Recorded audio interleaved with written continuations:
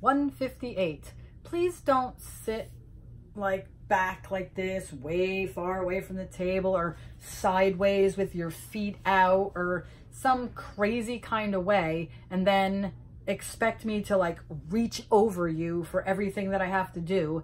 And then even worse than that, be annoyed if like while I was reaching over, something dripped on you. I mean, again, I would think that this was logical and I shouldn't have to say it, but people do it literally like completely sideways, feet out, and then you go up to the table and you almost like fall onto the table because you're tripping over their feet, and then they don't even move either. It's like they're they're like, oh, like I stepped on you stepped on my foot.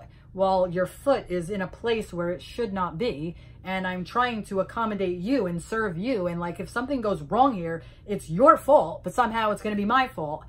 Again, Come on, we're people here. We're we're trying to do work together here. Let can't we all just get along? Come on.